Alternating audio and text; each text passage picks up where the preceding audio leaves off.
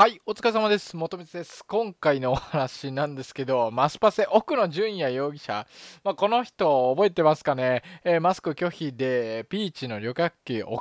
お 降ろされたりだとか、まあね、ほんとお騒がせで、結局、えー、暴行事件みたいなことを起こしちゃった人なんですけど、えー、今回は、その、えー、奥野淳也さん、まあ、もうすでにね、シャバに出てきてる状態なんですけど、今だね、ツイートちょくちょくしてるんですよ。そして最新のツイートがですね、マジでびっくりするんですけど、海外進出考えてんのか、こいつっていうような話が出てきて、まあ、それめっちゃ面白かったんで、今回動画でお話ししようかなと思います。ということでね、えーえー、見ていこうと思うんですけど、もとみつのチャンネルでは自治ニュースケのことをお話していきますので、いいねと思ったらぜひチャンネル登録もよろしくお願いします。ということでね、マスパスといえばね、まあ、こんな感じのアカウントを持ってるんですよね。未だにね、えー、マスク未着用途中後期、えー、乗客というこのアカウントで 通してるんですけど、うん。で、えー、まあ何を言い始めたのかっていうとね、なんか急に、え、英語だよね。英語の、あの、ツイートがスタートしたんですよ。え、な、なんだこれって思って、もともとちょっと英語苦手なんでよくわかんなかったんですけど、まあね、もうやっぱ最近のツイッターは全然違うんで、あの、翻訳してくれてるんでね、まあすごく読みやすいということでね、まあ翻訳したものを読んでいこうと思います。はい。えー、警察に逮捕されたとしても、日本で最も著名なマスク拒絶者として私はマスクパッセンジャーマスクを着用しないというマイケル・アンドルの意思と行動を強く支持すると、えー、オリンピックのなんかチェックの時にマイケル・アンドル選手っていう方がね、えー、マスクを着用ね、拒否し続けたとか、まあ、そういう話があって、それをね、題材取り上げて、ここぞとばかり取り上げて、私はね、マイケル・ハンドリューの、え意思と行動を強く支持するって言ってね、ま、マスク拒否おじさんのマスパセは、え声を上げてるわけなんですよ。で、オリンピックは多様な価値観に開かれている、え必要があります。彼は人間であり、オリンピック委員会の操り人形ではありません。マスク拒否することと操り人形って何どう違うのかちょっとよくわかんないですけど、えー、彼にはと、まあ、続きがあってですね、次のツイートに続きます。はい、こちらも英語で続いてて、えー、マイケル・アンドリューは人間であり、オリンピック委員会の操り人形ではありません。マスク拒否することが、マスクを、えー、お願いすることが 操り人形なの、まあ、ちょっと元にそこら辺よくわかんないんですけどね。彼は自分の、まあ、これ翻訳の問題なのかな？どうなんだろう。えー、彼は自分の体を自己決定する決権利を持っています。私たちは全てのアスリートを個人として尊重する必要がありますと。いや、それはわかりますよ。ただマスクをして、えー、リスクを少しでも回避しましょうっていう話でしょ。どういうこと？うん、まあ、ちょっとよくわかんないですけど、感染管理を追求する中で、私たちは人間としての自然の権利をほとんど忘れてしまいましたと。ここでマスクを拒否することが何なんだろうな。えー、人間としての自然の権利を忘れてしまった。ちょっとよくわかんないな。まあちょっとよくわかんないんですけど、こんな感じでね、えー、ツイートしてるんですよ。そして最後にですね、えー、こんな感じで書いてます。えー、この問題に関する日本人としての私の見解に外国メディアが興味を持っている場合は DM 経由で私に連絡してください。僕はすごい人だよって言って、外国メディアよ、俺に取材に来いよとかって言ってるんですよ。なんでお前に行くんだよ。もちろん水泳大会での私の最高の願いはアンドリューのアカウントに、えー、私はあなたの味方ですというふうに書いてて、海外進出考えてんじゃん、この人。まあ、ただね、この人の場合、今は海外出れないですよね。まあ、海外出れないんで、誰か僕のとこに来てくださいって。うん。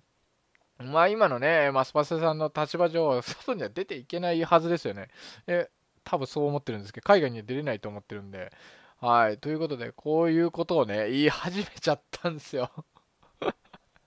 いや、マジで、どういう思考回路してんだろうね。ちょっとほんとびっくりなんですよ。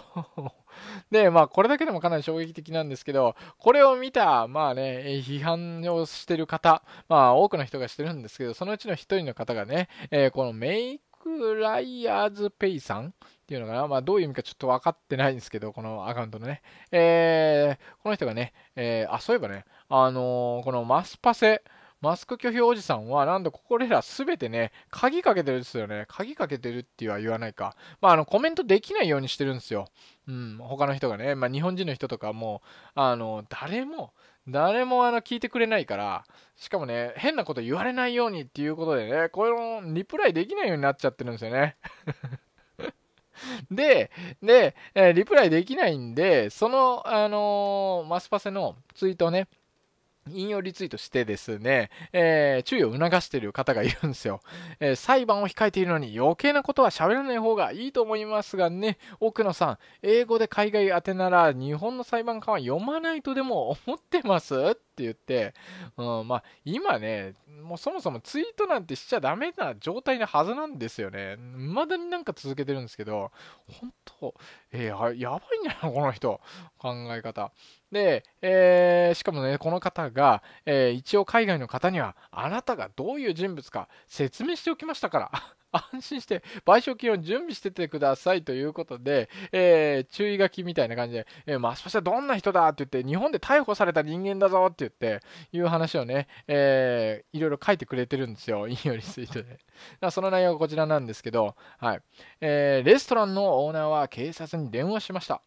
警察官が奥野をレストランから連れ出そうとしたが、そして奥野は警察官の顔を殴った。奥野容疑者は再び逮捕されたということで、なんかね、え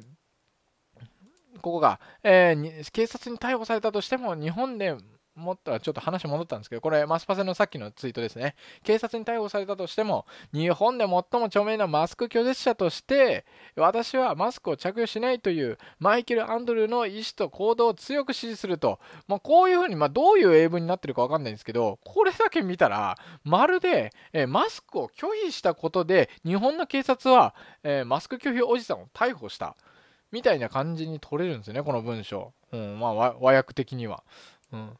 なんか間違った感じで海外のメディアが伝えそうなんですよね。で、それをわざわざ説明してくれてですね、なぜ逮捕されたのか。レストランのオーナーは警察に電話しましたと。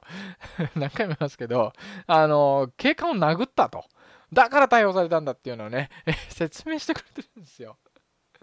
いや、もうこれでね、え普通メディアの人がね、見たとしたら、まあ、ある程度調べるんで、チェック入ったら、速攻バレますよね。海外進出の夢ついえるということで、いや、マジで何考えてんだ？ほんとびっくりなんですよ。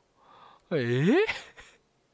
なんでこの話題で、あの、海外メディアさんが、えー、マスパスを取り上げてくれると、そういうふうに思ってるんですかね。まあ、アンデル選手のね、えー、を、ことを取り上げたりだとかはちょっとわかるかもしれないですけど、うん、選手ですしね。